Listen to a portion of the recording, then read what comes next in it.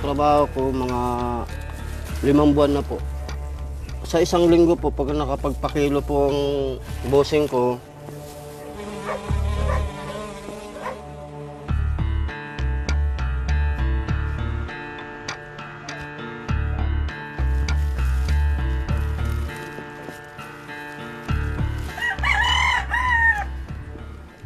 Pupunta pa ako ng palengke.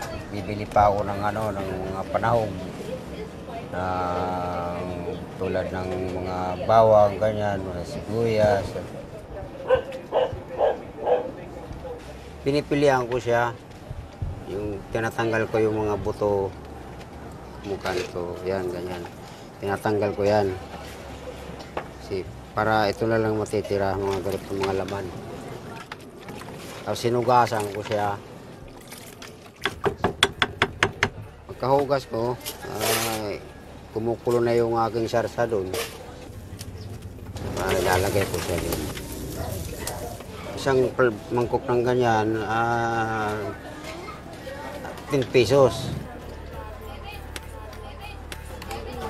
Kaya lang ko po ako kumakain. Masarap. Masarap kumain. Eh dito po, dito po sa pwesto na to po. Malinis po to, dinugasan na maigi. Kaya marami po bibili pagpag dito. Katibayan lang po lang po ng sipura kung kaya ng malinis o marumi.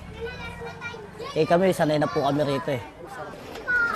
Ay po, eh, ganyan daw po talaga, eh, ang kaya eh. Pag puro pagpag eh. Hanggat nandito po po kami, kakain na pa rin kami yung pagpag.